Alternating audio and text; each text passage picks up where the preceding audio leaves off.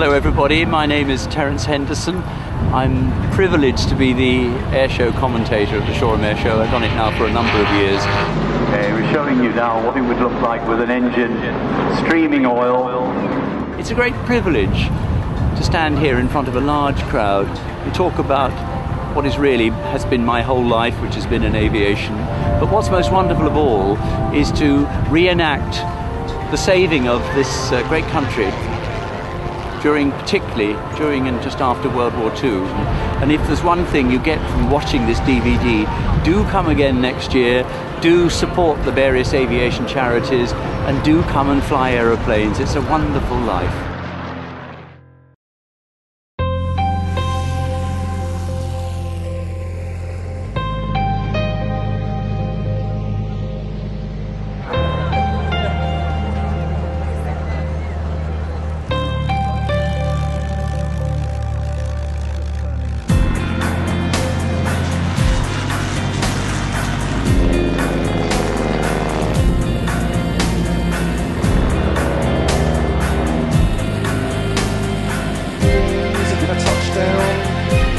running out of runway.